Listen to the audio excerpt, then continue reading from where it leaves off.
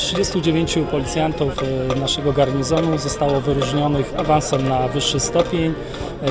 E, Jedna z policjantek, zastępca komendanta komisariatu Wacławowie, otrzymała również oznaczenie e, państwowe.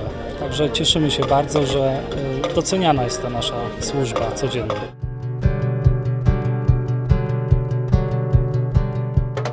Ci wszyscy policjanci to są ludzie, którzy swoją służbą zapewniają, że my możemy się czuć bezpiecznie, a jak widać jest to szczególnie istotne teraz w tym okresie sezonu letniego, kiedy powiat pucki to nie 84, a kilkaset tysięcy mieszkańców z całej Polski i z zagranicy, a ich bezpieczeństwo, czy jakby zwiększona ilość różnych problemów e, i wynikające z, ty, z tego zabezpieczenie pod kątem bezpieczeństwa jest niezwykle istotne. Komenda w Pucku y, posiada aktualnie 152 etaty i 30 etatów cywilnych. Przydałoby się jeszcze kilka, tak? więcej, abyśmy mogli y, jeszcze lepiej i skuteczniej działać. Co roku staramy się dofinansowywać przede wszystkim sprzęt, e, dokupić, bo to też trzeba powiedzieć, dokupić określoną ilość służb e, e, sezonowych, służb w sensie godzin pracy, bo, bo, bo bez, bez dodatkowych służb, bez dodatkowych policjantów nie bylibyśmy w stanie opanować sezonu letniego.